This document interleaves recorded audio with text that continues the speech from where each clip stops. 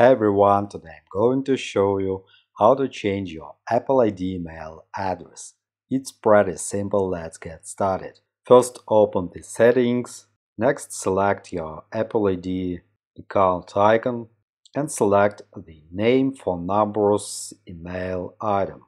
After you will see the contactable at section and we can edit it. Tap on edit. As you can see, we can delete our email and our phone number or we can add another email or phone number. But in this case we want to change the email. To do this tap on red minus next to email and press delete. You must choose a new email address to use as your apple id before removing your previous email address. Tap on continue enter your passcode and add your new email address. But pay attention that this will be your new Apple ID.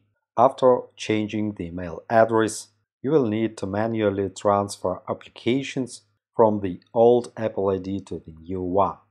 Let's add the new email address and after tap on Next at the top right of the screen.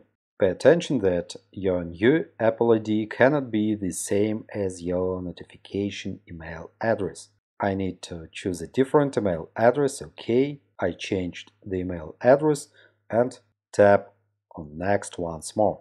Next, verify your email address. An email with the verification code has been sent to your new email address. Let's check. I have the verification email address in my Gmail 625883. My Apple ID has been updated. Now I need to use my new Gmail address to sign in into my account. Okay? After you will see your new email address in Apple ID settings. Hope this video was helpful. Thanks for watching, like, subscribe. Have a nice day, good luck. See you next time.